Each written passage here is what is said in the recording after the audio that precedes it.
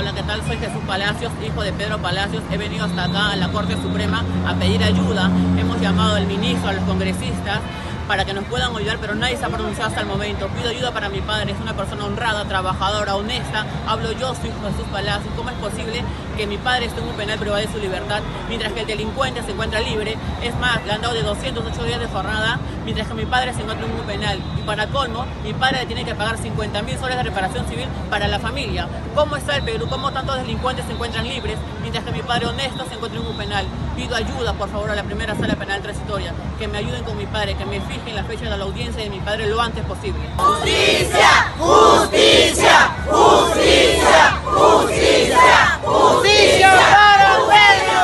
¡Justicia para Pedro!